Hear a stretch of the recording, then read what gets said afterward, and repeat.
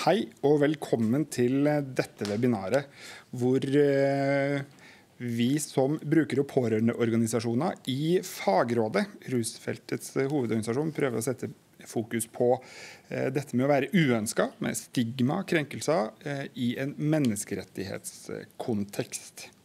Vi har samla det vi tror er et ganske kompetent panel til en samtale.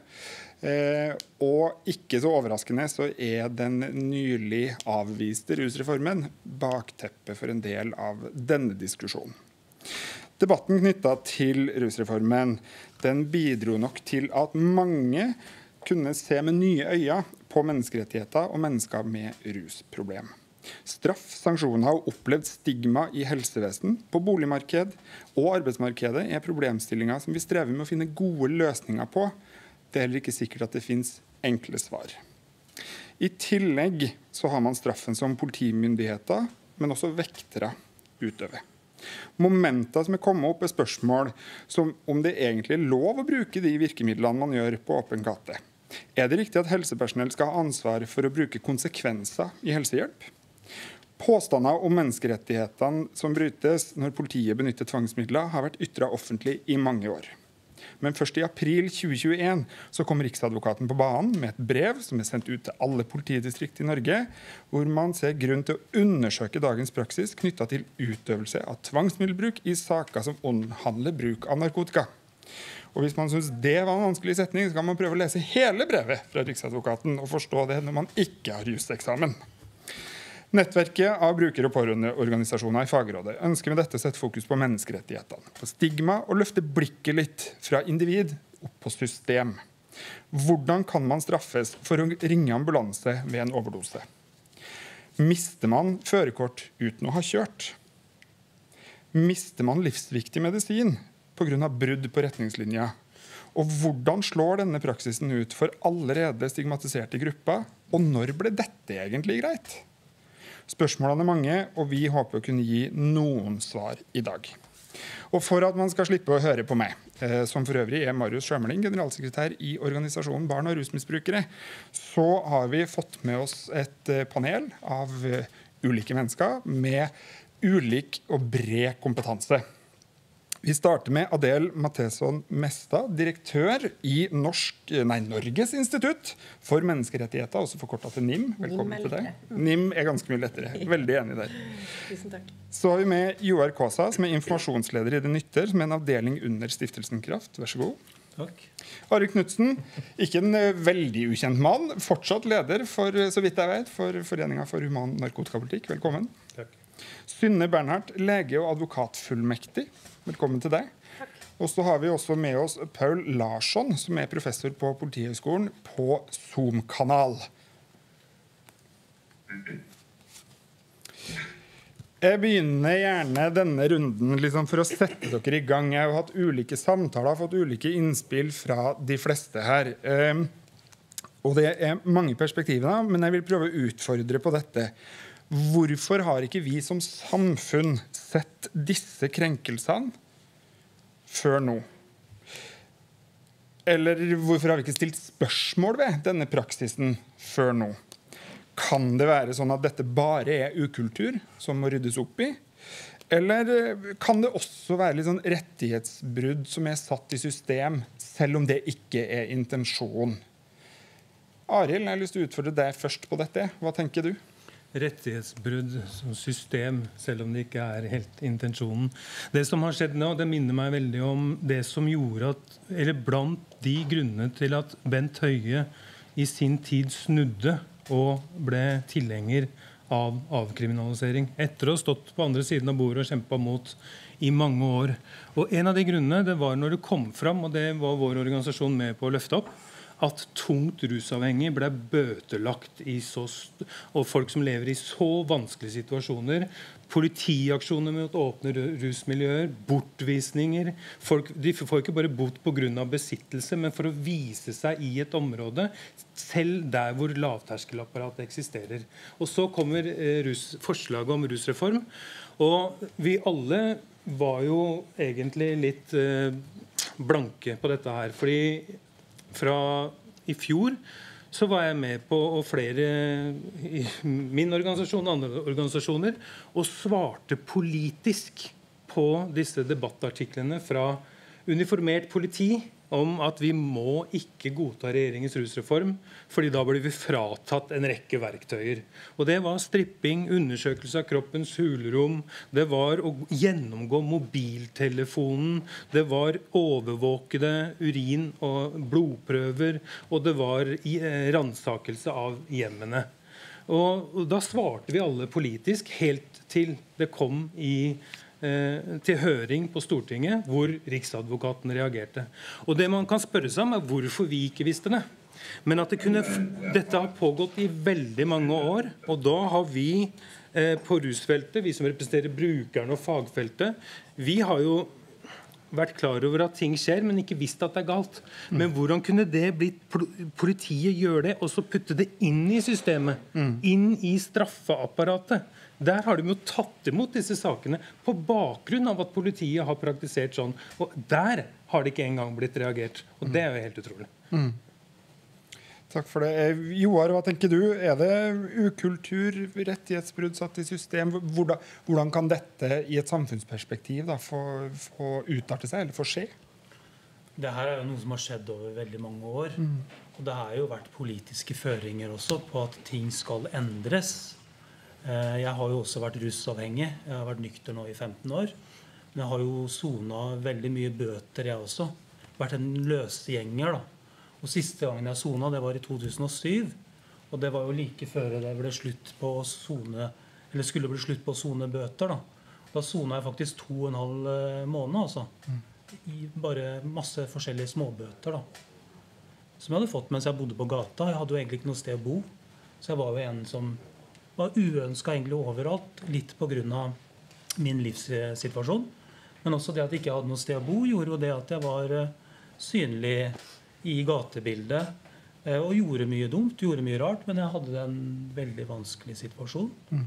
Og jeg rusa meg mye tyngre enn hadde jeg hatt en leilighet og, som jeg kunne trives i. Så hadde jeg nok rusa meg på en helt annen måte, men pga. at jeg havna på gata, så ble jeg jo ja, veldig deprimert og lei meg og rusa meg enda tyngre enn noen gang. Og, og fikk konsekvenser av det. da. Mm. Å blir bøtelagt stadionstøtt. Så jeg var i rusbehandling og ble tatt ut av rusbehandling for å sone bøter. Da Da hadde jeg 46 500 kroner i bøter. Og pga. at det var bøter, så gikk det ikke an å få en paragraf 12-soning, altså som er soning i behandling. Pga. at det var bøter. Hadde det vært en dom, så hadde det gått an. Men pga. at det var bøter, så gikk ikke det an. Så jeg måtte sone, da.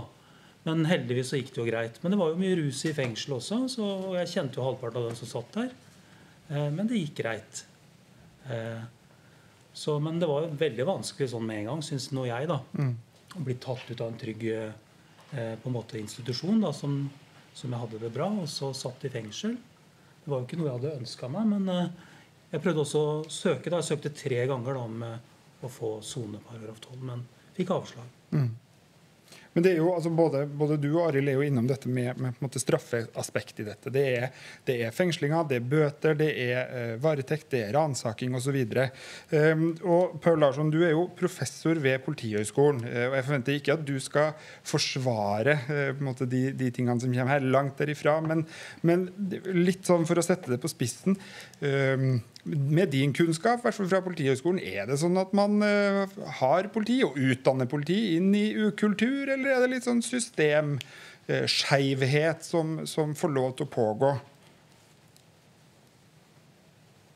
Ja, nå har jeg fryktelig dårlig lyd. Jeg vet ikke om dere hører meg noe særlig.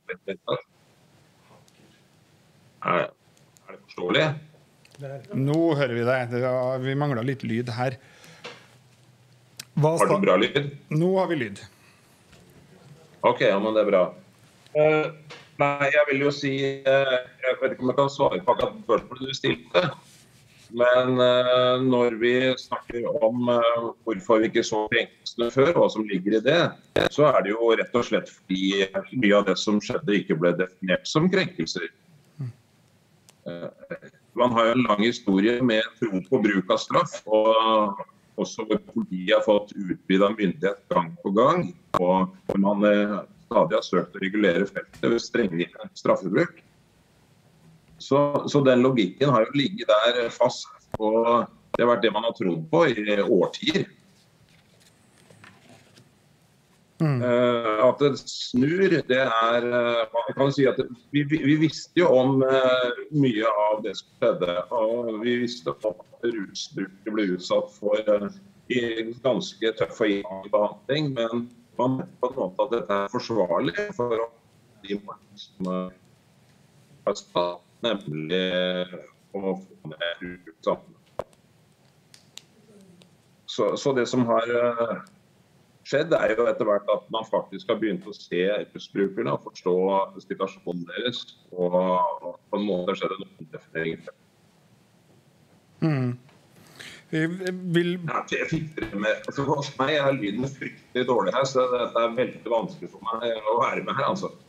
Det hakker litt på vår side òg, men jeg tror de prøver å justere litt. Eh, vi får prøve å se om, vi, om det blir bedre, hvis man kan si det sånn. Jeg har lyst til å trøk, eh, ta opp den tråden som du, som du om. at man har, jo, man har, jo, på en måte visst om dette, og så har man samtidig eh, tenkt at det, det, skal bli noe bedring. og Joar var også innom det, men det er jo kommet noen nye regler, og, og det må jo bli en endring, og det må jo ha blitt bedre.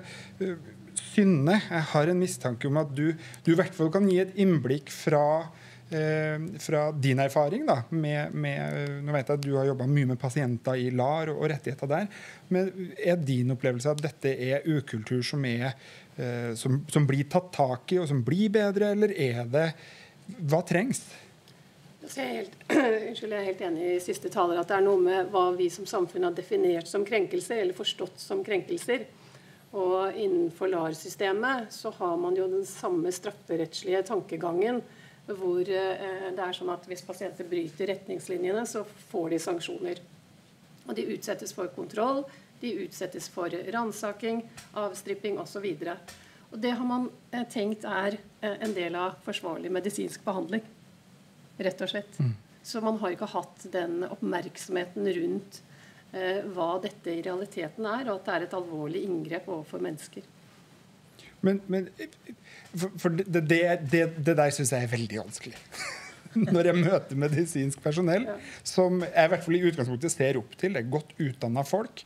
Eh, og de aller fleste også, som i hvert fall jeg har møtt i løpet av mitt liv, det, det, er gode folk. Det er sykepleiere og leger og det er spesialister som er, er gode folk. Hvordan kunne det bli faglig forsvarlig å f.eks. sanksjonere en behandling gjennom at det brytes av, eller at det, at det blir innført så strenge uh, husordensregler, hvis man kan si det sånn, at, at det nesten blir umulig for pasienten å motta den behandlinga? Ja, Det er et veldig godt spørsmål, syns jeg. Og jeg vet ikke svaret. Men uh, LAR-behandlingen kom jo til Norge på slutten av 90-tallet. Og så ble det forskriftsfesta i 2010. Eh, og i forarbeidene til forskriftene og LAR-retningslinjene så eh, er det vel en halv side om pasientrettigheter og eh, ingenting om eh, forholdet til menneskerettighetene. Mm. Så man har kjørt en sånn eh, strikt eh, politikk som følger mer den, den strafferettslige tenkningen, og at selv om man sier på papiret at medikamentavhengighet, rusavhengighet, er en sykdom, så opererer man på en annen måte. Ja. Altså det er din skyld, du har valgt det selv. Ja. Opplegg. Ja. Vi, vi, skal komme litt tilbake til det. Um, Adele, du er jo den som i hvert fall uh, på, på, mitt papir er liksom sånn at du er menneskerettighetsguruen. Uh, jeg har, har, gjennom forarbeidet til dette blitt sånn Oi, jøss, dette instituttet her skal jeg begynne å gå på kaffemøte. Jeg har masse spørsmål uh, knytta til både rus og psykisk helse og, og pasienter og pårørende. Men er dette ukultur, som vi litt sånn har oversett fordi at vi ikke definerer det som krenkelser, eller er, er dette noe vi egentlig burde sagt at dette er tydelige brudd på, på, menneskerettigheter, og dette har vi valgt å se bort ifra? Nei, altså Utgangspunktet er jo at menneskerettighetene i bredt beskytter alle menneskers iboende verdighet. Og staten skal gjøre det på to litt ulike måter. Det ene er at staten ikke skal gripe inn i menneskerettigheter på måter som er uforholdsmessige eller unødvendige når de bruker tvangsmidler. Og det andre er jo at staten har det vi kaller for positive forpliktelser. Da, skal, skal, passe på menneskene i et samfunn. Da. Og når det gjelder disse positive forpliktelsene, når vi snakker om dem, så er det jo det sporet som menneskerettighetsorganene særlig har eh, fulgt eller gått inn i. Og det handler om retten til helse, som er regulert i det som heter Konvensjonen for økonomiske, sosiale og kulturelle rettigheter. Og det er ganske mange menneskerettighetsorganer som over tid har pekt på at kriminalisering av rusmiddelbruk er et hinder for realiseringen av retten til helse.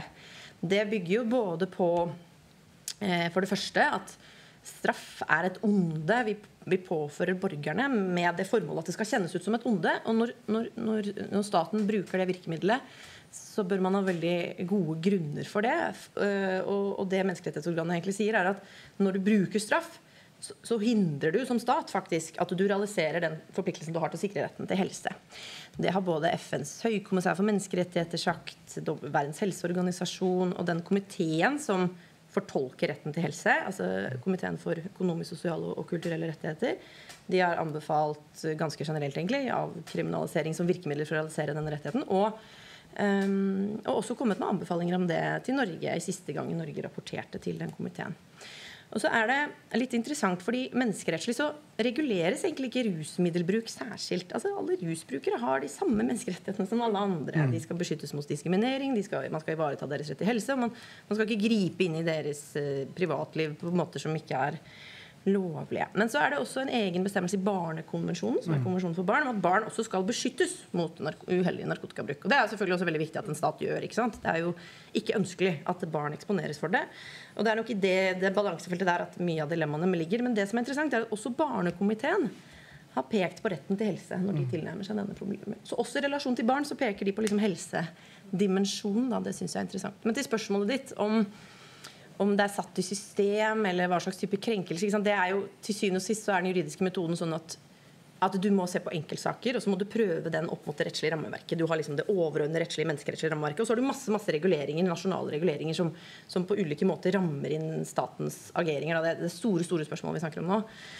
Men, men, det kan vi sikkert komme litt tilbake til. Men, men, jeg tror på en måte at et helt sentralt hinder er, liksom, kan oppsummeres i ett ord, og det er eh, rettshjelp. Altså tilgang på klagemekanismer, tilgang på domstoler. At, eh, vi kan snakke om at det er veldig stor forskjell på det å ha rett og det å få rett. Mm. Og på noen livs- og rettsområder så er den forskjellen veldig liten, for det er ressurssterke parter, og de har tilgang på liksom, klagemekanismer. På noen områder så er det veldig stor forskjell på den retten du har, og den retten du får. Og, og, og, og, da vil det ofte være store kunnskapsskap også, så man vet ikke helt hvor stor heller. Og jeg tror kanskje at dette er et av de feltene i det norske samfunnet hvor man i hvert fall kan mistenke da, at forskjellen på det å ha rett og det å få rett er, er størst. Mm. Mm. Arild, du er jo i hvert fall eh, den som jeg vet av best, som har snakka lengst om dette. Eh, nesten litt sånn, Du har jo messa for å si det sånn, om menneskerettigheter. Eh, på dette feltet så lenge du har vært et navn på feltet, og garantert før det å kjenne deg rett. Hva, hva må til for at, eh, for at, dette skal eh, bli korrigert, da, hvis man sier det sånn, ut fra at praksis skal bli riktig, at, at man faktisk følger menneskerettighetene? Vi trenger nye holdninger, og så trenger vi å bekjempe denne ideologien mot narkotika. Fordi jeg tror hele helseapparatet, både LAR og institusjonsapparatet, er bygget opp sånn som det gjør, fordi det er en holdning om at du må ikke gå for langt å hjelpe de som den overordna politikken er å straffe. For det er, og den overordna politikken er å påføre oss ubehag, pine. Og så kommer det andre som skal hjelpe deg, men da skal du bli totalt rusfri. Og du skal oppføre deg sånn, og så skal vi være kjempepatriarske sånn og sånn, og så skal vi innføre sanksjoner, kontroll. Ikke sant? Nå blir jeg lagt inn på, til eh, institusjon. Da. Det har jeg gjort i, mine, i 40 år. Da. Og så kom jeg inn på institusjon. og så, Det skjedde samtidig som en jevnaldrende ble lagt inn på en slankeklinikk. De gikk jo ikke inn i, koff i kofferten hennes og gjennom klærne for å se om hun hadde smugla med seg sukkertøy eller en napoleonskake. Men det gjorde de på meg. De ransaka kofferten, klærne og prøvde å tvinge meg til å godta urinprøve. Jeg var den eneste som har fått sluppet på det stedet. Med krenkende, overvåkede urinprøver. Og med hvilket formål? Jo, det er fordi at hvis du ikke Hvis du vises tegn på at sykdommen din ikke er helt bedra, sånn at du er symptomfri, så skal vi kaste deg ut av livreddende behandling. Og Det samme gjelder jo legemiddelassistert rehabilitering også. Vi, vi, har klare grenser for hvis vi skal hjelpe de som den overordnede politikken er å straffe. Da skal dere gå på jevnlige urinprøver på generaliserende, altså generelt grunnlag. Og så skal vi godta halvering av dose, kaste ut fra heroinbehandling eller behandling for heroinavhengighet fordi du røyker hasj osv.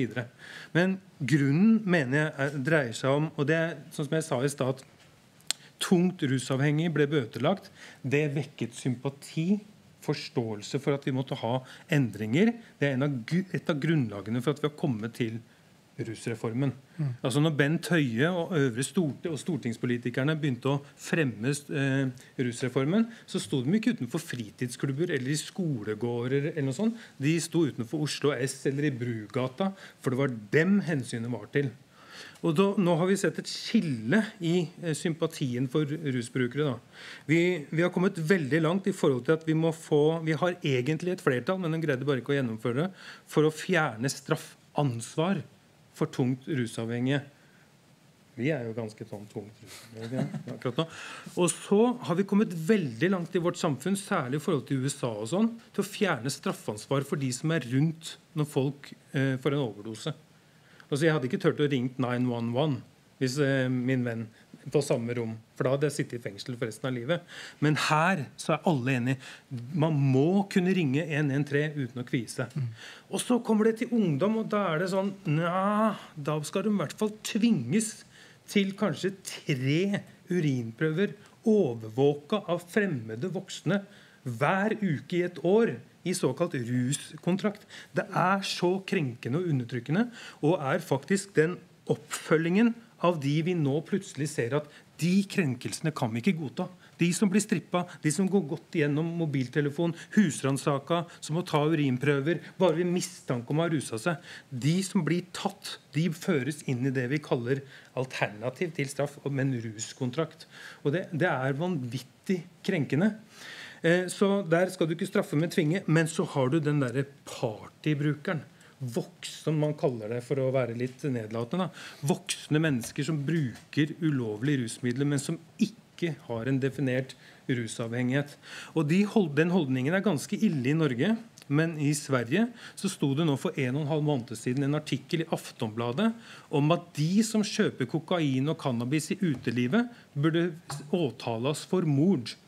Og det sier litt om hva slags type holdninger vi har overfor brukere av ulovlige rusmidler. Og også til tross for at vi vet at de fleste som trekkes mot, eller en stor andel av de som trekkes mot ulovlige rusmidler, og i hvert fall som får problemer med rusmidler, er sårbare mennesker. Mm. innvandrerbakgrunn, hvis du går på østkanten, fattige foreldre med lav utdannelse. ikke sant, Sånne type ting. Traumatiserte og sånn. Og ennå så behandler vi det så generaliserende som vi gjør. Så jeg er veldig enig i at det, det, er veldig enorm avstand mellom rett og, og ha rett og det å få rett. Men dette er et av de områdene i vårt samfunn hvor vi har best potensial på å lære oss skikk og bruk og behandle folk som folk. Når du sier skikk og bruk, så tenker jeg um Jeg snakka litt med deg Synne, om det på telefonen òg. Jeg tror aldri jeg har hørt om at en lungekreftpasient som er i en aktiv behandling for sin lungekreft, får beskjed om at du har herved ingen behandling lenger.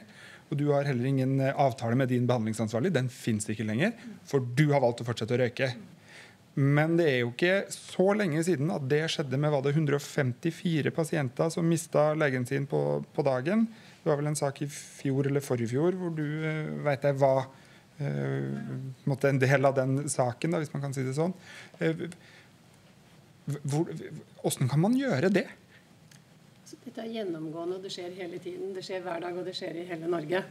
Uh, og det er jo fordi at, som Arild sier, hvis pasientene viser tegn på sykdom, så straffes de for sykdommen. Da blir du fratatt medisineringen din. Eh, bråseponert eh, kanskje, eh, som, hvor du risikerer å gå inn i alvorlig abstinens, til og med dø av det. Så det skjer hele tiden. Så jeg har bare lyst til å peke på én ting, og det er dette med generalisering. Og Da snakker jeg ut ifra den kunnskapen jeg har om LAR, og alle de som står utenfor LAR, som ikke har tilbud om helsehjelp. Ca. 8000. Eh, innenfor LAR så har du bygget opp systemet med det som kalles retningslinjer. Eh, og retningslinjene er da generaliserte eh, gruppeanbefalinger. Og dette behandles som Bibelen uh, unnskyld, uh, i, innenfor LAR og rager høyere enn Grunnloven og menneskerettighetene. Og alle pasientene må passe inn i retningslinjene. Så da fratas du den retten du har ifølge loven, som er retten til en konkret og individuell vurdering. Og Det som også er problemet innenfor LAR-systemet, er at pasienten har tilgang på to medikamenter. Så har du hele felleskatalogen, som alle andre i Norge har tilgang til. Men i LAR så er det to medikamenter som er tillatt i henhold til retningslinjene. Og det mener jeg det, eh, Sånn kan det ikke fortsette å være. Og selv om vi vet at retningslinjene er under revidering, så er det ikke signaler i hvert fall som jeg har hørt, som åpner opp for flere medikamenter. Så er det klart at de pasientene, klientene jeg har, som har vært i LAR i 20-30 år, eh, har hatt henteordning hver dag. De går og henter medikamenter hver dag. De tar urinprøver tre ganger i uka under påsyn, har gjort i ti år. Eh, og så kommer jeg og skal si at er dette nødvendig, og er det forholdsmessig? Så sier LAR ja, det står i retningslinjene. Mm. Det er jo øh, Det er jo Jeg har i hvert fall hørt det avfeida om det er enkelthistoria. Og så tenker jeg, men la, la, oss si at det er enkelthistoria. Vi har jo enkelthistoria innenfor andre pasientgrupper også som er mye mer kjent, og som man kan telle. Fordi at man har øh, Av en eller annen grunn så, så, er det en del pasientgrupper som er flinkere til å klage formelt. Det er pasientombud og det ikke sant, hele den biten. Vil utfordre deg, Joar, på, på hva Kan jeg bare si noe? Hva, ja. ja unnskyld at jeg avbryter. ja, dette er ikke enkelthistorier. Uh, I mars så var det et oppslag på NRK om dette. Og etter det så har NRK fått hundrevis av telefoner. Og jeg har fått 500-600 henvendelser hvor alle de som ringer meg, sier at jeg har en utrolig spesiell historie. Jeg har en unik historie å fortelle. Men alle historiene er like. Mm. De er like ille. Mm. Men, men det, og, det og, det er så det, bekymringsfullt. Det er det, det, jeg måtte ha lyst til å undre meg litt på. Da, For Man kan si at det er enkelthistorier. Og så er mitt inntrykk at det er jo ikke enkelthistorier. Men, men hvorfor, øh, hvorfor er ruspasienter som en gruppe da, lavest på det å klage? På behandlinga si, på, på tjenestene sine? Har du noen tanker på det, Joar? Hva, hva er det som gjør at ruspasienter per definisjon ikke klager. Ikke engang når man blir skrevet ut på dagen fra institusjon. Det er jo litt pga. at de føler at ikke den blir hørt allikevel. på en måte. Ja. Ja, og det har jo vært sånn bestandig. at Vi kan liksom ikke klage. For vi, hvem skulle vi klaga til? Mm.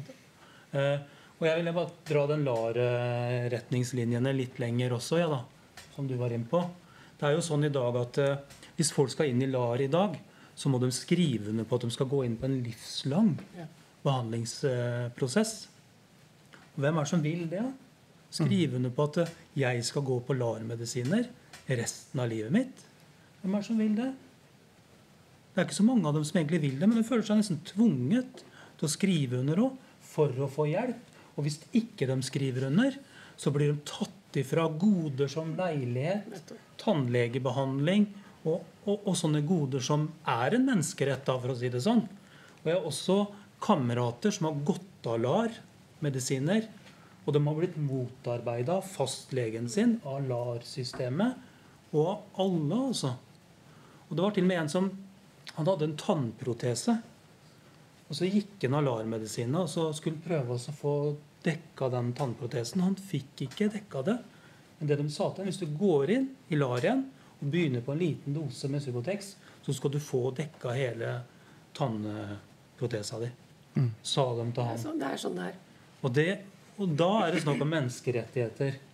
For det er ikke menneskerettighet å på en måte må skrive under. Du avskriver jo hele livet ditt på en måte.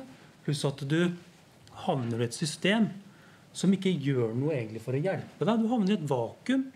De fleste som er i LAR i dag, de får jo ikke den, de tilbudene som egentlig var tenkt skulle være i LAR. da. Det står jo for legeassistert rehabilitering. Og det fins jo ikke noe særlig rehabilitering i LAR. Det er noen kanskje 6% eller 8% da, som får tilbud for skolegang og, og klarer å gjennomføre det og få samtaler da, mm. med, med, en behandler eller en psykolog. Men det er svært få som får det tilbudet i hele tatt, da, for å si det sånn. Mm.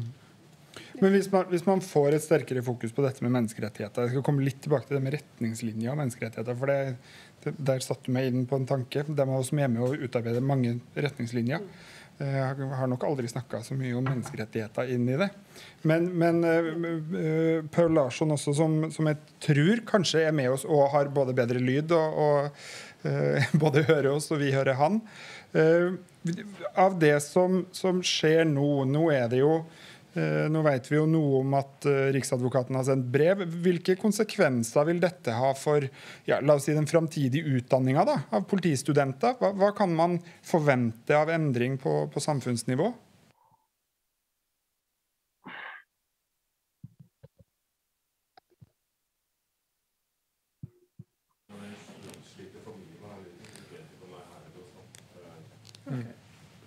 Da får vi enn så lenge i hvert fall rusle videre, og så beklager vi egentlig det. Noen gang så, jeg sa i stad, Vi er i en sånn overgangsfase mellom liksom det digitale og det fysiske. Ja. Og, og, nå står vi i nye sånne utfordringer som alle sto i når man skulle på Teams for, for et år siden. Eh, jo, Litt tilbake til dette med retningslinjer og menneskerettigheter. Det, for det slo meg når du nevnte det, Synne, at, at ja, retningslinjene blir jo, blir jo, Bibelen i LAR. Det, men det blir jo også Bibelen i pakkeforløp og i TSD-behandling. Og jeg, både jeg og Arild har i hvert fall ganske mange år på baken etter hvert eh, på det å være med i disse retningslinjegruppene og referansegruppe, arbeidsgruppe, utvalg og herregud. Implementering. Implementering og alt det. Jeg kan aldri huske med hånda på hjertet, det er mulig at jeg har lest for dårlig, jeg kan aldri huske at man i det arbeidet har hatt en juridisk vurdering knytta til menneskerettigheter.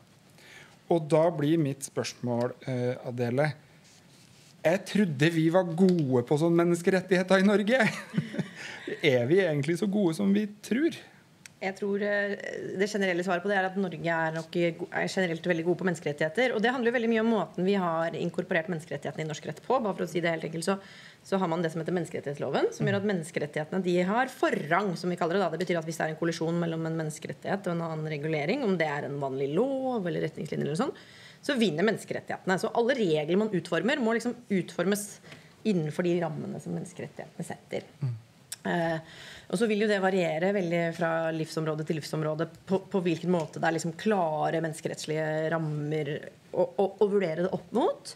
Og som jeg nevnte innledningsvis, på dette feltet her så er det særlig dette med realisering av helserettigheter man sier. Men det som er interessant, er på en måte begrunnelsen for at FN-organene, såpass mange av dem, går veldig tydelig i denne retningen. Og det handler veldig mye om om helse. At hvis man ser på rusbrukere gjennom prisme straff det, Jeg tror det prismet det, det, vil prege tror jeg kanskje alle som jobber med det på. Det vil prege mm. alle på ulike måter. Um, dette er noe uheldig, noe vi må kvitte oss med. Liksom få, få, det bort på en eller annen måte. Men hvis man ser det gjennom prisme uh, helse, så tror jeg veldig mange andre ting vil endre seg. Og da vil man nok, når man begynner å liksom lage den type reguleringer, snakke om liksom rettighetsbasert tilnærming til helse, eh, antagelig kanskje utforme noen av disse retningslinjene som jeg ikke kjenner veldig inngående, annerledes. Så det er jo derfor sant, dette rettighetsperspektivet inn i, inn i rusreformdiskusjonene tror jeg har vært viktig. Og, og jeg håper at selv om nå liksom det strandet litt, at, at det vil fortsette å prege diskusjonen litt. For jeg tror når man får skiftet ut det prismet med det som liksom er menneskerettslige tilnærmingen, da, som er helserealisering, så vil veldig mange av diskusjonene se litt annerledes ut. Mm. Uh, det er i hvert fall det man kan, man kan håpe. Da. Men, men, ellers så tror jeg det der med eh, å realisere de rettighetene man har, da, eller når det skjer brudd på ulike regler eller reguleringer, eller til og med at noen regler er ulovlige, f.eks.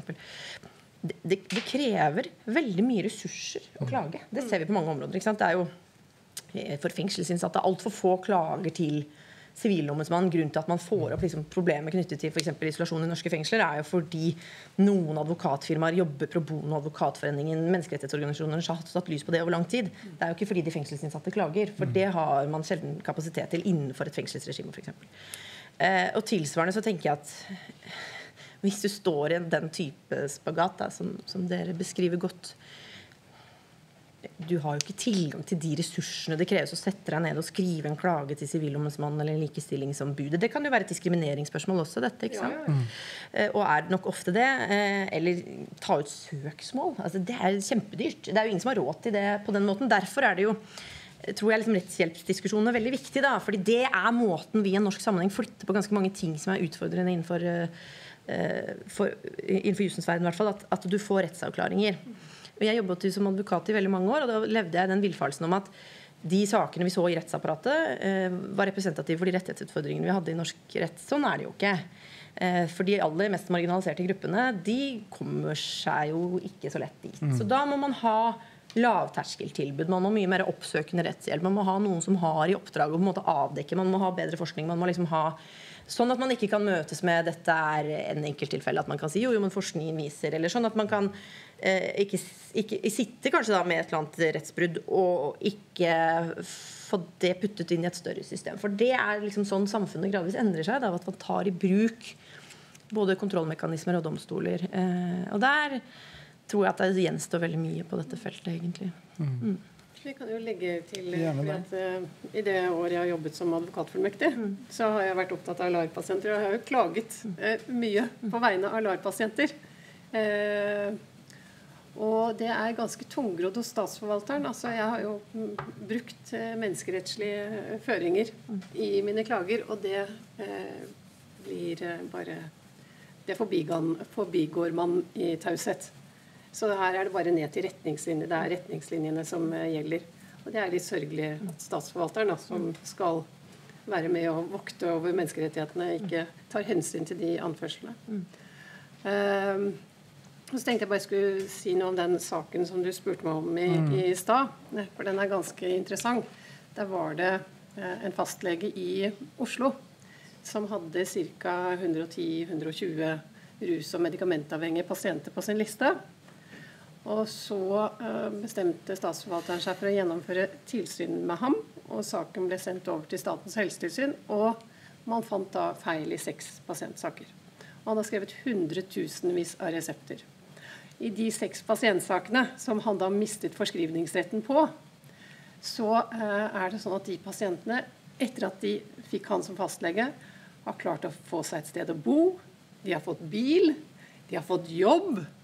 Eh, de har kontakt med familien osv. Og, og så sier Statens helsetilsyn at dette er uforsvarlig fordi at de har fått for høye doser av medikamentene. Og de har fått noe annet enn Subutex og metadon. De har fått benzodiazepiner av ham.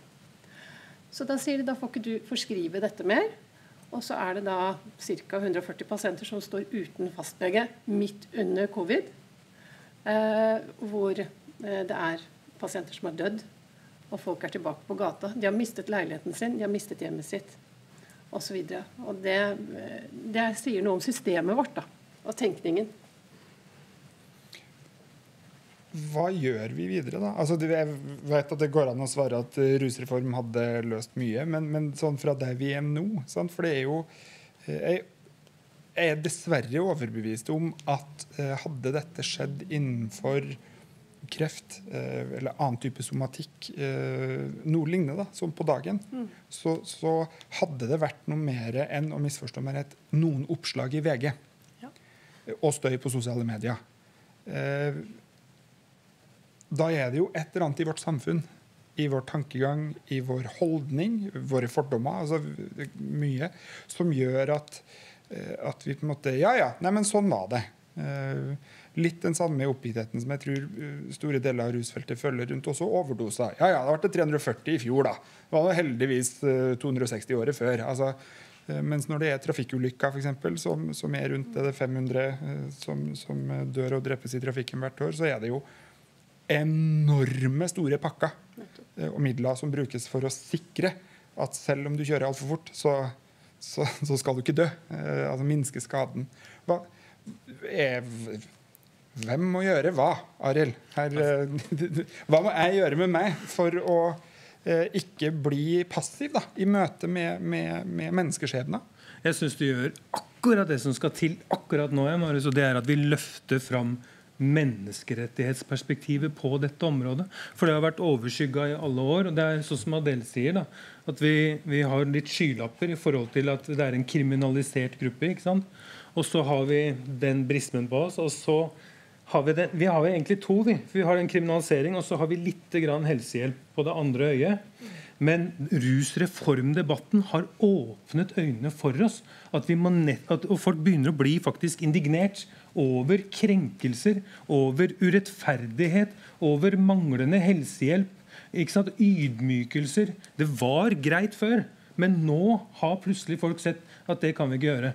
Og nå må du arrestere meg hvis jeg tar feil, men for, I forordet til menneskerettighetene så står det anerkjennelsen av menneskets iboende verdighet er grunnlaget for frihet, rettferdighet og fred.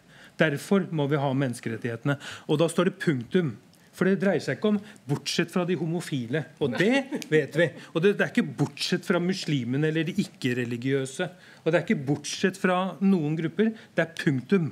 Og endelig så ser for Vi skal heller ikke si bortsett fra mennesker som bruker eh, alternative rusmidler og har det som levesett. For det er jo veldig likt, kanskje ikke i forhold til alle men sånn som når du kommer til cannabis. Da, rus er jo omtrent som religion. Det er en ut av hverdagen-opplevelse.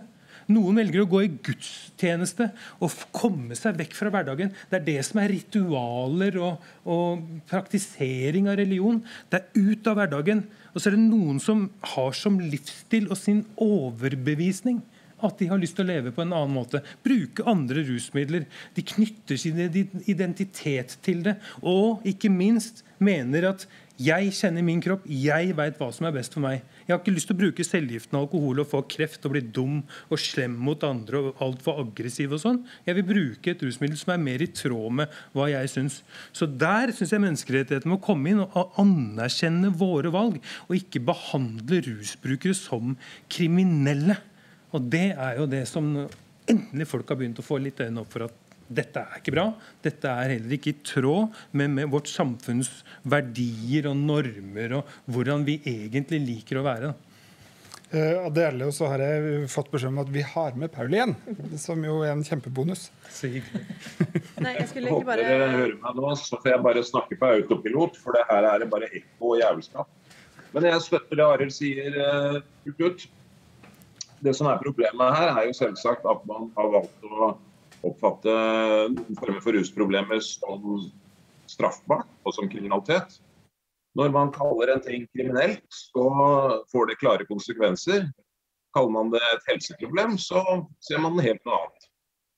Så Problemet her er jo at man eh, peiser på fortsatt, og ikke avkriminaliserer, men fortsetter med det samme gamle sporet som har vist seg ut, fungere utmerket godt til å støte ut folk og skape problemer det er en politikk som dreper, for å si det rett ut. Så det er ikke stoffene som dreper i så stor grad, det er politikken. Og det tror jeg mange som er vanskelig å ta inn over seg.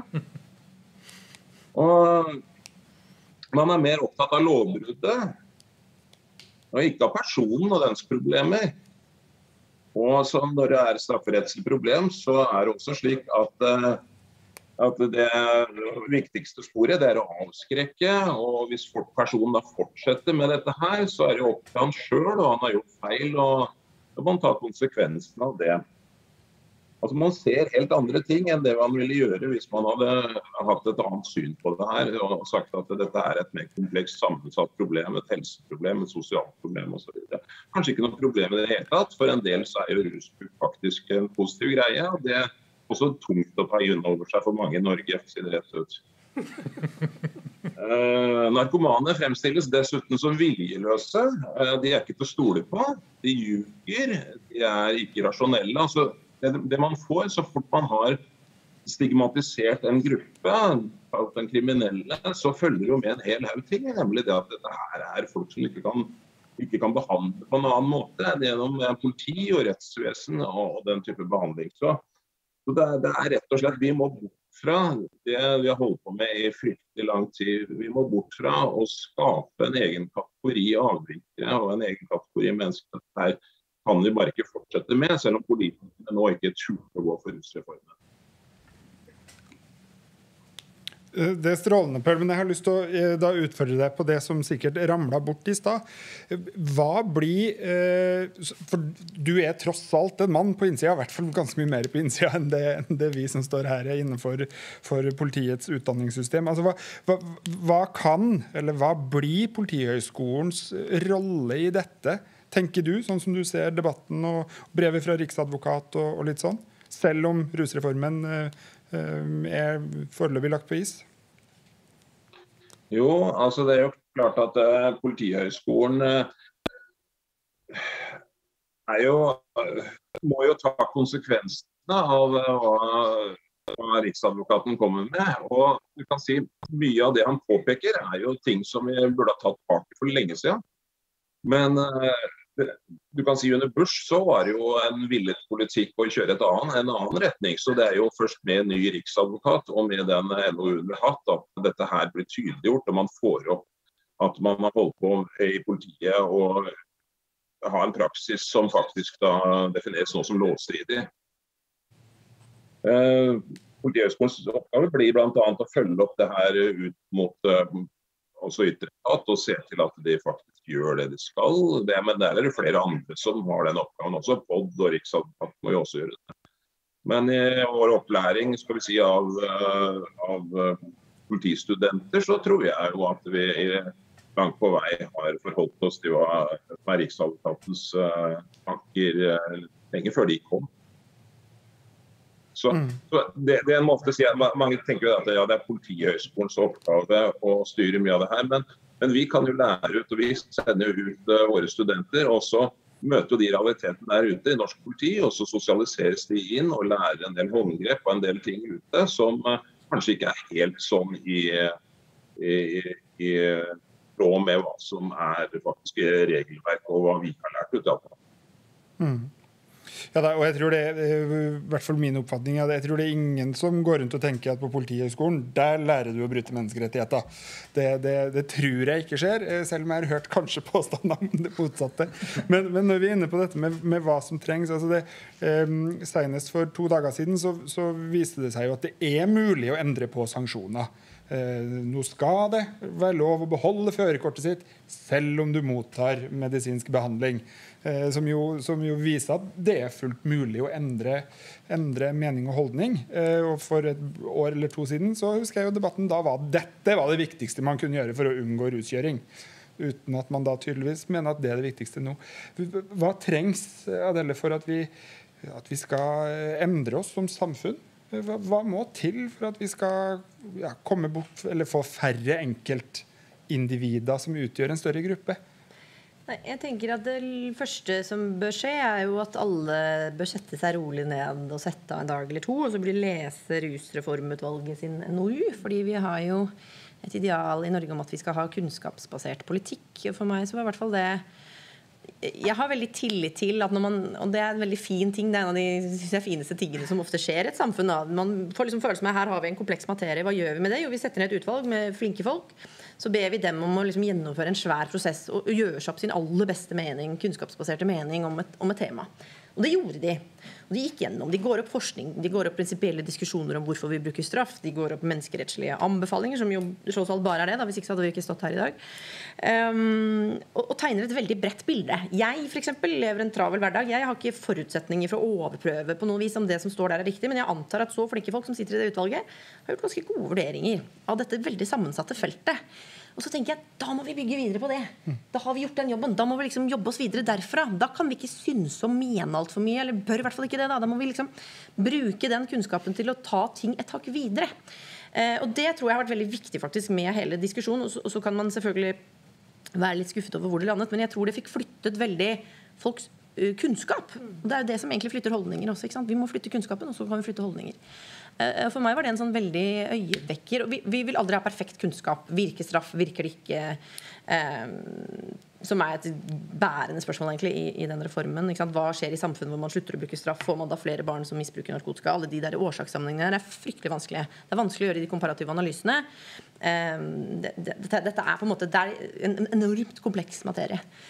Men, men, men, at man i bygger på den best tilgjengelige kunnskapen vi har. Da. Det tror jeg er et, eh, kanskje det aller viktigste. At man får en kunnskapsbasert diskusjon som også tror jeg må akseptere at det, det, det er veldig mange vanskelige nyanser her. Jeg tror f.eks. at dette med at, at, politiet også har gjort veldig mye bra forebyggende arbeid. Jeg, jeg tror det er dumt hvis man mister liksom, alt det forebyggende arbeidet som politiet har gjort. Mange flinke politifolk har gjort bra forebyggende arbeid. Og, og det er også menneskerettighetsforpliktelsen som staten har. Vi må beskytte barn mot uheldig narkotikabruk. Hvordan gjør vi det? Hvilke ressurser må kommunene ha? hvordan sikrer man likebehandling i, i disse kommunene? Det er mye mer nyanserte diskusjoner rundt den virkemiddelbruken som man faktisk Den må vi også ha, og vi må kunne ha de diskusjonene. men men hvis ikke diskusjonen er kunnskapsbasert, så får man noen ute i ett hjørne og noen ute i et annet hjørne, og så bare skyter de på hverandre hver sin kant. Men veldig ofte så er det interessante diskusjonene liksom i, i kompleksiteten, da, i de der mye mer komplekse samfunnsstrukturene. Eh, og da er kunnskap eh, helt avgjørende. Ja. Det er jo morsomt at I Canada så har de jo legalisert cannabis nettopp for å beskytte barna fra narkotikamarkedet.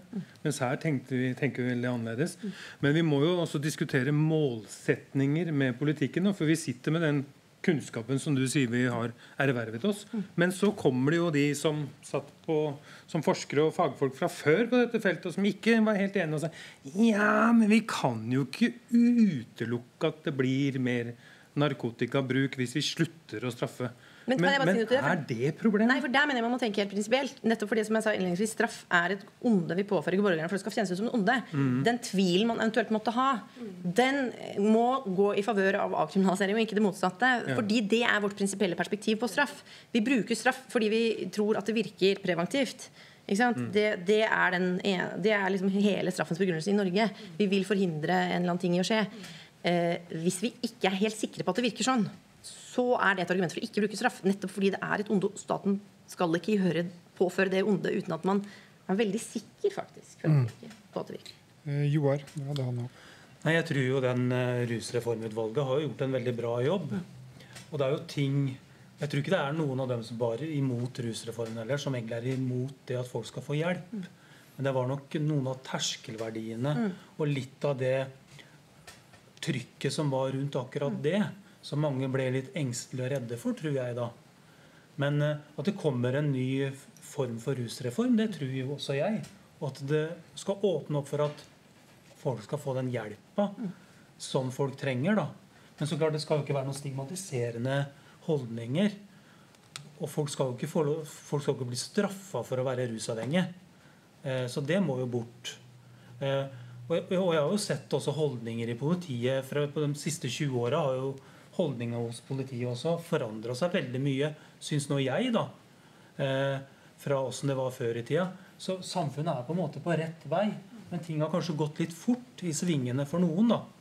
Sånn at blir, de blir liksom redd at det, nå slippes det opp for alt mulig rart. Og, og de er redd for akkurat det. da. Det, går, ja, det går ikke fort nok for noen, og så går det for fort for andre. Ja, for, for jeg, jeg, deler jo på en måte den tankegangen om at men, men, det man har hørt om som skjedde på 80- og 90-tall, vi er jo kommet lenger enn det. Ja. Og så må jeg samtidig så må jeg jo innrømme at eh, Og det er liksom direkte utfordring til deg, Arild. for at jeg når jeg begynte å se disse sånn første utbruddene på, på, eh, en del Facebook-grupper i forbindelse med rusreform man blir, sånn, ja, man blir hele tida arrestert og lagt i jern, strippa naken og sjekka alle kroppens hulrom, tenkte jeg var vi ikke ferdig med det på 90-tallet? For jeg har jo vært barn som har vokst opp i et hjem hvor jeg har vært vitne til dette. Og det tenkte jeg da, det var vi ferdig med på 90-tallet, var vi ikke det? Når vi hadde liksom narkoetat og litt sånn. I hvert fall i min oppvekst så hadde vi det.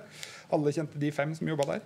Eh, men, men er, altså, for meg så er det litt vanskelig å forstå at vi i dagens opplyste, moderne samfunn med så engasjerte ungdommer og til dels krevende, rettighetskrevende ungdom også. At, at, er det fortsatt sånn at man kan bli altså, tatt for små brukerdoser? Eh, bli tatt med inn, jern, strippa og, og undersøkt kroppens hulrom? Og, og, hvorfor har man så interesse i kroppens hulrom? Det er på en måte oppfølgingsspørsmålet. Det er jo veldig vanskelig å bli tatt med 0,3 gram hasj og ikke utsatt, bli utsatt for den slags, mener jeg. da. Men, mm. men jeg syns det er et veldig viktig spørsmål, fordi det, eh, det er en holdning i samfunnet at sånn er det ikke lenger. Ja, ikke? Det er en holdning om at rusavhengige blir jo ikke satt i fengsel lenger. Nå har vi nettopp fått en rapport som bekrefter at det er vanlig for tunge rusavhengige å bli satt i fengsel. Mm. Og da først og fremst amfetaminbrukere og eh, bøtesoninger som blir, hoper seg opp, sånn at man må sone det istedenfor man ikke har råd til å betale det. Over halvparten eller rundt halvparten sitter i en sånn to måneders Det er jo oppskriften på katastrofe, for de kommer jo da Enten så gjøres amfetaminbrukerne opiatavhengige med LAR inn i fengsel, eller så slippes de ut uten toleranse for tyngre stoffer, og så får de lett overdose. Så Det er jo helt vanvittig praksis. Men eh, det, følg brukerjakt på hashtaggen på Twitter. altså Den, den belyser Jeg syns det, det, det, kommer litt fra folkedypet, og den belyser hvor ille praksisen er. Og så er det jo en, Men samtidig, det er en utrolig utvikling i politiet. Vi snakker om det overdosestrategien. For ti år siden så kom politiet, jaga, løp etter oss, slang oss ned i bakken ikke sant? Og, og holdt her, brakk armen og alt mulig. Tilfører i besittelse av en brukerdose. Og nå kommer de løpende etter oss med en nesespray med motgift tilfelle jeg er ferdig med å dø. Så det, det, er jo en holdningsendring på gang. Men først og fremst så er jo det i de store byene og de som jobber opp mot rusavhengige. Når du kommer ut på landet og ut på ungdommer, og du blir rettssikkerhetsløs så fort du bruker uh, ulovlige rusmidler. Og særlig når du er ung blir møtt med en utrolig sånn ovenfra og ned, krenkende, ydmykende, patriarkalsk holdning som ikke passer noe annet sted. For det, det, du behandler jo ikke folk med og Heller ikke sånn som følger opp i hjelpeapparatet. Behandler jo ikke folk sånn hvis du har eh, diab eh, nei, unnskyld, driver med selvskading, har prøvd å ta livet av deg, hvis du eh, eh, har spiseforstyrrelser. Du, du, blir jo ikke behandla med de holdningene. Men det er jo, vi vet jo det at det, problemer, utfordringer i livet, traumer og sånn, gir 30-50 ganger større risiko for nettopp disse tilstandene og rusbruk og rusavhengighet. Mm. Og så slipper vi fra oss alle pedagogiske verktøy og verdier og holdninger og uh, forståelse av iboende verdighet og sånn, og bare sånn. Og sånn er det i dag. Vi har et kjempeforbedringspotensial ennå. Kan dette også være litt um på en måte bivirkning av velferdssamfunnet. altså at det, det er, Tilliten da, er så stor. Uh, håpet, trua er så stort på at vi har et velferdssamfunn som vil ta vare på alle. Altså det, vi kommer ikke inn i velferdssamfunnet, og det er nei, det som var rusreformens holdning. Vi ser det også i barnevern. Ja. at det er, alle har jo, altså Generelt har man en stor tillit til barnevern. Ja. og Det er ufattelig å forstå at måte, det, det, kan skje brudd der, og at barn kan oppleve overgrep i barnevernets omsorg. Mm. og så likevel så, så, så skjer det. Dette skulle være vår tids velferd velferdsreform. Og Det var fordi vi skulle innføre sosialfaglighet og velferdstjenestene også for den gruppen. Og de tenkte at de unge som blir strippa, som blir gått gjennom opplever disse integritetskrenkelsene og blir tatt inn i ruskontrakt Helt uten videre så ringer de da med foreldre. Tenk hvis du er 16 år gammel og blitt voldtatt av faren din. Det er mange som blir utsatt for sånt i vårt samfunn. Så så begynner ikke du med spise, får ikke du spiseforstyrrelse, du begynner ikke selvskading eller prøve å ta livet av deg, men du røyker en joint. Mm. Så blir du tatt. Så ringer den pappaen og går i allianse med foreldra. Helt uten først å kartlegge hjemmesituasjonen. Og Det, det er altså helt vanvittig. Og det pågår ennå. Og sånne ting må vi hele tiden belyse. fordi nå kommer vi til å få noen endringer med det med førerkort, det med overdoser, kanskje litt mindre straff og sånn. Men det er utrolig mye i dette store kompleksapparatet som fortsatt er helt spinnvilt. Men, men, for å snu på det. Eh, kan man, og Dette er en sånn utfordring til måte, alle. altså Kan man um, kan man ha sanksjoner eller konsekvenser av, av handling som er innafor. Ja. Uh, altså, for, for, det er noe med ja, men Ingenting skal straffes. Nei, ok. Og da hører jeg en del si ja, å, ja, så det skal bare være fritt. Og så tenker jeg nei, det, jeg, tror ikke, jeg, tror ikke, det egentlig var budskapet. Men, men jeg sliter med å finne sånn Kan man ha sanksjoner som er tydelige, og som er tydelige på at du får en konsekvens, men som ikke da bryter grunnleggende rettigheter? Altså, jeg har ADHD, går på ADHD-medisin. Det har en konsekvens hvis jeg drar på ferie ute i Europa med en månedsdose og ikke har med riktig papir fra apoteket. Mm. Men, men, jeg, men jeg jo, mister jo ikke den medisinen for evig tid. på en måte. Men, men kan man også ha konsekvenser innenfor eh, helsehjelp? Innenfor, altså, man sier at stoffene er ulovlige, men det skal være avkriminalisert. sånn, så Kan man ha konsekvenser? Det er ingen som mener Stoffene er ikke ulovlige innenfor helsevesenet. Det er lovlige, stoff, det er lovlige medisiner. Ja. Og så tenker jeg Det som er oppgaven til helsevesenet, er jo hvis problemene tårner seg opp på pasienten, så skal man intensivere hjelpen. Ja. Uh, og hegne om pasienten. Si 'kom her'. Jeg tror ikke jeg har vært i mange LAR-møter. Jeg tror ikke jeg har hørt én gang uh, LAR-legen eller sykepleieren si 'Hva kan jeg gjøre for deg? Hva kan jeg gjøre for at du skal få det bedre?' det de møtes med, er Nå er det nedtrapping, avrusning, sånn. Urinprøver. Det er, altså man må prøve å vri hele holdningen til andre mennesker. Rett Men det er veldig viktig eh, innsigelse du har. fordi mange tror jo at hvis man tar vekk urimelige reaksjoner, så ønsker man å ha det fritt fram. Det er sånn som oss som vi har den politiske ideologien jeg har på rusfeltet. De tror jeg at jeg er sånn dop til folk. og Når jeg ville ha heroinassistert behandling, så, så lurte jo folk seriøst på om jeg ønska å gå med en trallekar. Hvem jeg har skikkelig god fersk heroin fra Afghanistan? Folk tror det, faktisk. Ja, ja. Men det dreier seg om jo at man må ha fornuftige rammer, og så skal man gi gjensidig respekt. Og Det er kanskje noe vi diskuterer også for lite på rusfelt. fordi at eh, Når du er til institusjonelle behandling, f.eks., så skal du oppføre deg ansvarsfullt og respektabelt overfor de som jobber der. Og når du har disse reglene om at du blir kasta ut hvis sånn og tar urinprøver, og, og hvis det viser seg at uten å liksom begynne å tenke ja, men hvis du ikke greier å holde deg, kan du ikke gå ut. da, altså Røyk deg en eller drikk deg en, og så kom tilbake når du er fin, så det ikke går utover andre. Du, alle skal ha en atferd som uh, altså Det dreier seg om atferdsregulering. Atferdsregulering det drukner litt i hele bildet når vi driver med kriminalisering, og også helseapparatet, når man tenker kontroll og sanksjonering. Så, så glem, og Da veit vi hvordan er det folk oppfører seg. da Når du ikke får empowerment, men når du blir trøkka ovenfra. Da blir du på en måte som ikke er noe ålreit. Men det godtar vi, at de oppfører seg veldig uålreit i altfor stor grad. Det er jo en del som oppfører seg veldig dårlig.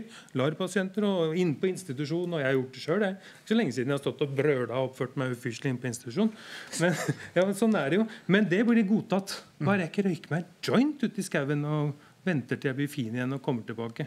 Så Det synes jeg er det, det verste. fordi den der gjensidigheten og respekten og vår altså Likestilling det er jo også å bli korrigert. Og det drukner i en sånn uh, type Med de holdningene vi har nå. Joar, kan vi ha konsekvenser, sanksjoner, som ikke har den straffe... Jeg syns nå det, da. Det kan være en fin måte å møte mennesker på. Sånn som når jeg var rusavhengig, så trodde jeg jo ikke det var noe på en måte noe annet liv for meg. da. Men det var når jeg ble kjent med folk. Ikke folk som prøvde å hjelpe meg eller tvinge meg inn i et eller annet, men, men de var der for meg. da. Og prøvde liksom å gjøre ting bedre for meg i den tilstanden jeg var i. Det var jo da jeg skjønte at, eh, at ting kunne forandres. Eh, Så, og det er jo veldig mange sånn som Arild snakka om, og det kan være ungdom som har opplevd eh, traumatiske ting hjemme. Det er jo sånne ting som kan bli fanga opp. da. Hvis de får en god relasjon til en i kommunen f.eks. Samtaler og kanskje finne på litt hyggelige ting. Og så kan det skapes en tillit og ja, ensidig tillit da, som gjør at vedkommende kan kanskje åpne seg opp, og at folk kan finne ut av ja, hva som egentlig ligger bak. da. Ja. Så jeg har veldig tro på det. Ikke straffe folk. Og så må det alltid være frivillig, da. For det går aldri an å tvinge folk til, å, til, til noen form for hjelp eller behandling. Det må jo alltid være frivillig. Det, det må det. Men at det er ja, en reaksjon, da. På en måte. Ja, jeg har tro på det. Ja. Adele, kan vi, kan vi ha eh, perspektiver på, på sanksjon, konsekvenser, som, som måte er i tråd da, med, med rettighetene? Nei, altså, som sagt, det er jo eh, liksom litt begrenset hvor langt man kommer med dette altså, formelle rettighetsperspektivet. Men hvis man snakker mer sånn medmenneskelig, samfunnsorientert, så tenker jeg at det som kanskje gjorde litt at reformen strandet, tror jeg, da, var at den, den hvert fall forestillingen om at hvis man gir opp straff, så er det på en måte eh, alt helt åpent. At man liksom ikke kom lenger i diskusjoner om ok, hva er det vi da kan bruke som hjelper? Hvilke virkemidler kan vi ta i bruk? Hvordan kan vi organisere helsehjelpen i kommunene bedre? Hvem er det som sitter på best kompetanse om hvordan hjelpe ungdommer som av ulike grunner er i, liksom, i fase hvor de trenger at noen bistår dem? Um, det, som, som er også til syvende og sist tror jeg er i veldig stor grad et ressursspørsmål. Nå er det veldig mye overlatt til kommunene. Kommunene opererer veldig ulikt og har veldig ulike ressursmuligheter også. Disse tingene vi snakker om her nå, det koster penger. Dette er jo praktisk politikk. Men, men, men man kommer på en måte aldri helt i i diskusjonen. Og, og, og, veldig mye av dette tripper jeg vil være også evidensbaserte diskusjoner man kan ta. Hva er det man vet at virker? Hvem er det man lykkes med å hjelpe? Uh, alt det der. Og det håper jeg liksom at kan bli litt neste skritt i den diskusjonen. I hvert fall nå. Uh, ok, Hvis vi skal forlate dette, dette prismet vi har hatt lenge, hvordan bygger vi opp et, liksom, samfunnet med, med, en hjelpeorientering da, eh, på en enda bedre måte? Og Den diskusjonen har jo gått i mange år, jeg er klar over det, men eh, man må bare tro at man kan fortsette å ha den samtalen. Uh, Paul, hva kan, hva kan uh, politiets rolle, eller myndighetsutøvende rolle, være hvis vi ikke skal tenke uh, først og fremst bøter, straff, fengsling som, som, konsekvens, men altså sanksjoner? eller egentlig hva, Hvilken rolle kan politiet spille inn i ja. en, en, type ordning hvor vi ikke tenker at du skal fengsles og straffes? For det første så må jeg jo si at eh, når jeg tenker på hva en kan gjøre, så kanskje en bør se på noen av de mest suksessfulle historiene vi har i Norge når det gjelder, eh, gjelder regulering av uh, stoffer. Og Det er jo nedgangen i bruk av tobakk som har skjedd i løpet av de siste 30 årene. 40-årene. Når eh, sånne som Arild og jeg var unge, så dampa jo alle med begge hendene. I dag så er jo det ganske ute blant de unge.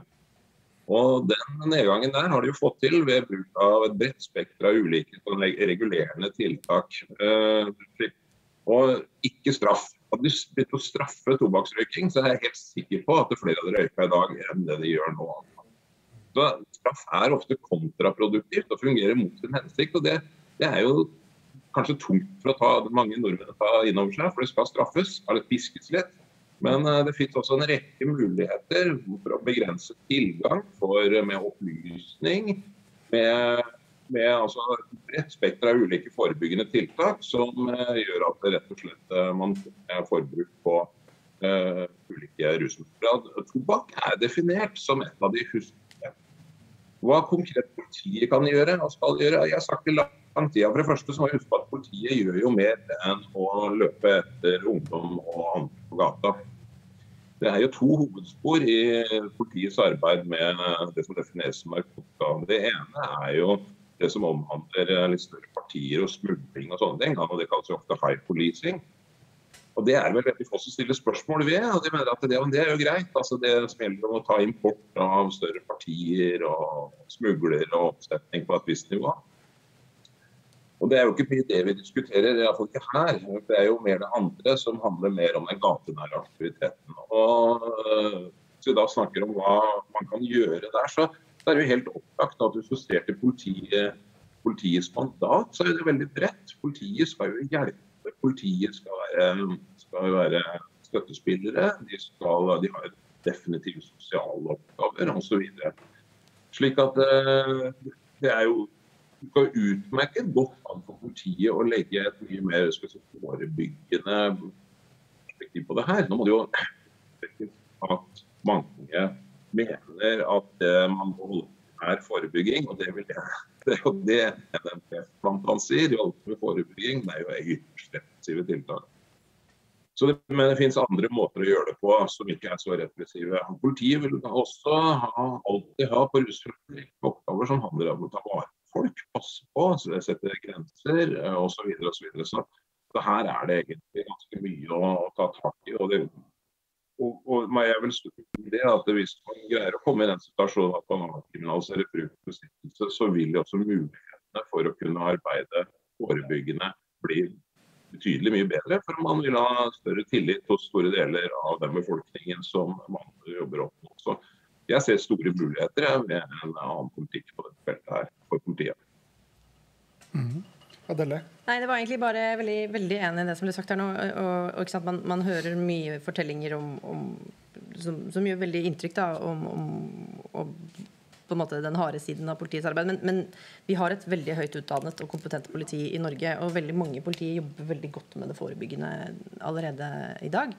Eh, og jeg tenker Det er liksom et veldig viktig startsted å ikke undervurdere det heller. Eh, og at det har vært en en holdning og, en prioritering i politiet i mange år. Og så er det som han sier at vi må på en måte da fortsette det arbeidet og gi det rom, på tross av at man fjerner da i hvert fall uh, straffen i, andre enden. da, ikke sant? Det er jo ikke noe i veien for at det forebyggende arbeidet kan fortsette. Men, men de samtalene må man liksom ha litt mer strukturert. da, Hvordan skal det forebyggingsarbeidet se ut? Uh, og ikke minst da, at de flinke folka i politiet som jobber med det, og tar vare på folk, får tid og ressurser til det. At det prioriteres. For alt politiet gjør Eh, havner i en prioriteringskvis som er kjempevanskelig, som politiet står i hele tiden.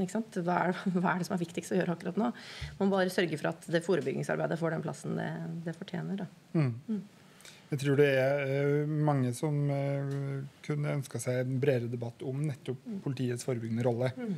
Og jeg tror det trengs. Jeg tror det er en oppfordring fra ganske mange at man gjerne må, må i hvert fall finne en måte som man tenker er forskningsmessig bevist at sånn kan politiet drive forebygging for etter noen oppslag de siste ukene, så tenker jeg at det også finnes eksempler på hvordan man kanskje ikke nødvendigvis gjør det i et klasserom.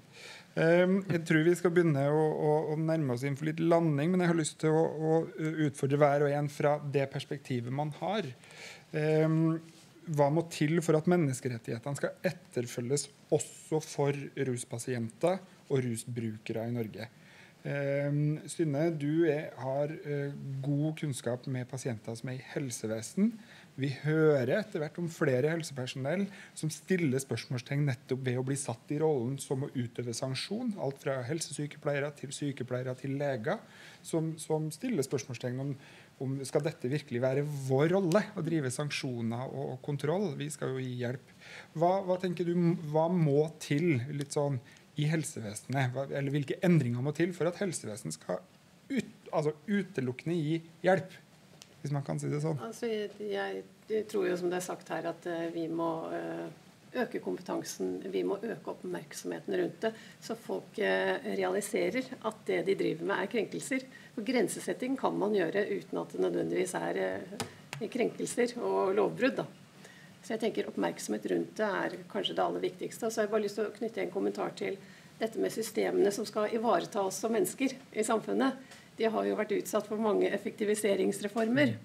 Eh, og det er en, en, del av problemet vi står overfor, i hvert fall i helsevesenet. At det er ikke plass til mennesket, det er ikke plass til pasientene lenger.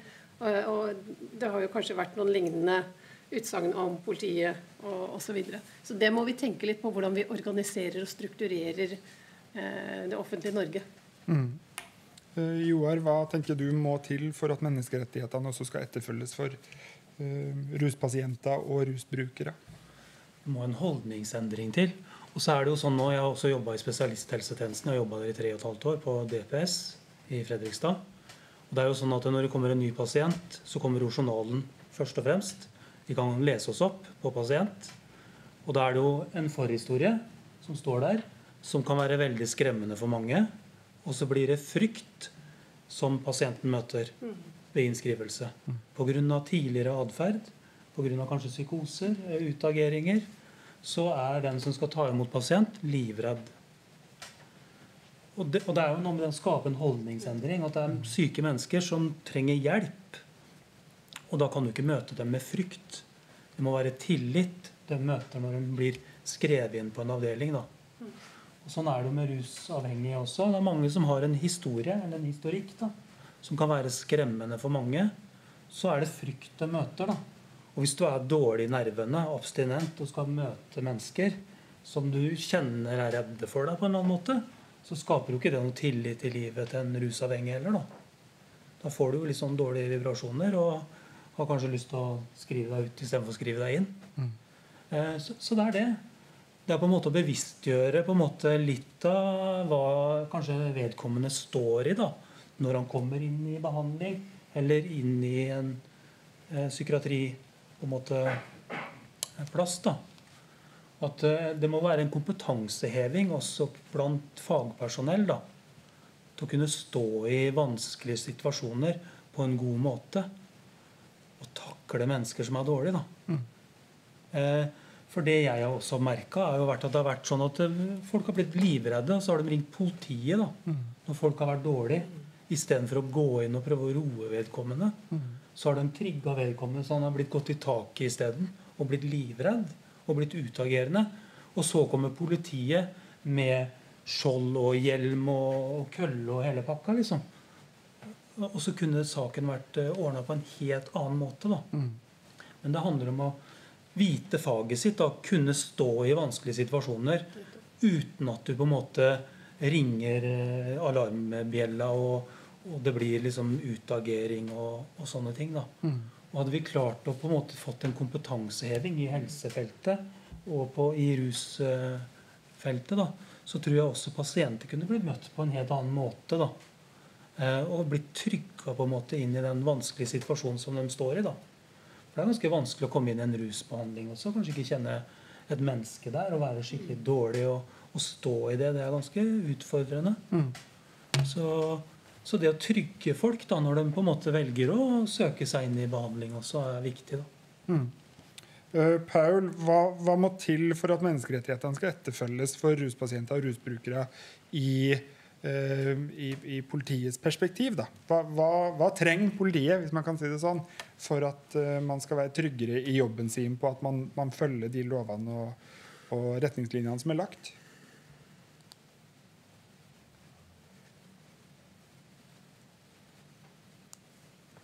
Hvis han hørte Un unnskyld, No. det var litt uklart det du spurte om. Jeg har så fryktelig dårlig lyd der. Hva, hva må til for at menneskerettighetene skal, eh, eh, skal etterfølges også for ruspasienter og rusbrukere i Norge i politiets perspektiv? Altså, hva, hva trenger politiet for å komme i en posisjon hvor man uh, vet at den praksisen man har, er på riktig side av menneskerettighetene, hvis vi skal si det litt flåsete?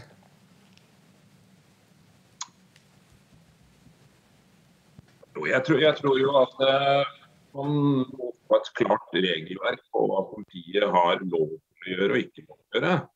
At man får landa det der, sånn at eh, det ikke er, hersker noen slags vi si, uklarhet rundt uh, hva, man, hva som kan gjøres. Og slik at uh, det, det, er, det er noe av det som definitivt må på plass. S- jeg tror bevisstheten allerede hos de aller fleste i norsk politi er ganske klar og tydelig på, på skal vi si, et humanistisk spor her og en eh, forståelse for at uh, rusbrukere også skal behandles ålreit. Jeg tror ikke det er der det ligger. Jeg tror ikke det er akkurat de tingene der det handler om. Det handler, og så handler det også en del om eh, rett og slett det her å skal vi si, prøve å, gå bort fra det her med måle antall saker. Det er jo et press for å få opp antall uh, straffesaker. Men husk på at uh, narkotikasaker utgjør den nest største registrerte lovbruddskategorien i Norge. Det er bare vinningskriminalitet som er større. Og det er jo, og 50% av de sakene er jo bruk og besittelse. Så, så her er det et eller annet at man må på en måte få punktert hele den, det fokuset der som har vært straffesak og kjøre på med disse tingene her. Og få en økt bevissthet også, og få et regelverk også som Pense klarer å tydelig inn på uh, andre sider ved politiets virksomhet på landsplan. Så det er uh, den veien. Arild, hva må til for at menneskerettighetene skal etterfølges også for ruspasienter og rusbrukere i Norge? De sier det ikke er så taktisk å si det lenger, men vi blir kvitt forbud mot rusmidler og straff og plaging og stigmatisering og systematisk undertrykking fra samfunnet fordi du velger mindre skadelige rusmidler, i hvert fall alternativer til alkohol, så blir det mulig å få menneskerettigheter. Før, før det så er det fortsatt krenkelser, ydmykelser og undertrykking som gjelder. Adele, hva, hva må til strukturelt, eller både i det store og det små, for at vi skal kunne si at nå følger vi eh, menneskerettigheter? I hvert fall i lovverket. Ja, det er interessant for Premisset ditt for spørsmålet er jo at du legger til grunn at det liksom gjentatt skjer menneskerettighetskrenkelser. Det kan jo godt tenkes, men det har vi jo ikke gode nok holdepunkter for, nettopp fordi man ikke får de nødvendige avklaringene i rettsapparatet og klagemekanismer. Altså, det er det ene. at jeg tror rettssikker, altså, Tilgang på rettsmidler er ganske viktig. Så tror jeg selvfølgelig klare tydelige regler. Det, jeg tror vel som han også at uh, norsk politi er som sagt veldig høyt utdannet og er veldig sånn, kjent med menneskerettslige generelle rammer og krav for når du kan f.eks. etterforske, gripe inn altså I utgangspunktet er dette velkjent materiale, men, men, men jeg tror det, nettopp derfor så er det det er det faktiske her. ikke sant? Å få en enda bedre situasjonsoversikt og få, få kjennskap til hvor er det liksom skoen trykker i praksis. Det krever liksom enda mer målretta forskning, enda bedre undersøkelser, og at man tar i bruk i større grad klagemekanismer og operasjonaliserer de funnene, sånn at man ser hvor er systemutfordringene. Det trenger jo ikke å være det kan jo være ulike, ulike, politidistrikter som jobber ulikt. Det kan være ulike kommuner som jobber ulikt. Altså, vi må på en måte bare passe på å flytte den kunnskapsplattformen vår hele tiden, og så utforme tiltak um, på grunnlag av det. Og så tror jeg jo liksom veldig på det der, ja, den der prismeforskyvinga som vi har snakket mye om. da som jo er eh, det bærende, i hvert fall anbefalingen man har fra menneskerettighetsorganene. Eh, hvordan man ser, Hvilket prisme man ser dette gjennom. Og at avkriminalisering som da anbefaling for å realisere retten til helse, vil være et helt sånn nødvendig første skritt. Mm. mm. Jeg tror det skal få lov til å være siste ord. Det hadde vært deilig oppsummert med sånn ta-da, jeg har lagd en fasit i løpet av dette. Eh, da hadde jo rusfeltet vært et, eh, et eh, ferdig kartlagt felt. Der er vi nok ikke. Men jeg tror jo at både klare regelverk, men også det å kanskje la de ulike hjelperollene få lov til å være sin rolle, i hvert fall i en start. Legen må få lov til å være lege. Eh, og kanskje ikke drive så mye kontroll og sanksjon som det man eh, gjør i dag. Og så må man jo gjerne, hvis man har ekstra mye penger på bok, eller nettopp har fått ekstremt mye eh, feriepenger, donere noe til litt sånn søksmål. da, Så får man prøvd noen av disse sakene for, for retten. For det er, jo, det er, jo, tydelig at det i hvert fall er én vei å gå for å, for å få prøvd ting rettslig. Det kommer jo mange spennende saker nå. Det gjør det. Det er vel, for dem som har fulgt med, så er det, er det muligens noen saker rundt, eh, rundt, overdoser fra i fjor, bl.a. Og også LAR-behandling. Og eh, også dette skjønnet som leger skal få kunne utøve overfor individu den individuelle pasienten. Mm. Om staten kan komme inn og si at nei, det var ikke riktig. Mm. Hvis, det, hvis det viser seg at pasienten har klart seg utrolig bra. Og selv om rusreformen ikke ble vedtatt, så betyr jo ikke det at ting står stille. Nei, da løfter vi helse. Ikke sant. Det er mer enn noen retningslinjer, veiledere, prioriteringer og diverse forløp, som det så fint heter, som, som er ute på høring, og som skal, skal, forhåpentligvis gjøre hverdagen både for individer og gruppen som eh, ruspasienter tilhører, bedre. Jeg takker panelet for gode refleksjoner og samtaler, og ønsker alle der hjemme og ute i den vide verden en riktig fin dag videre. Takk for i dag.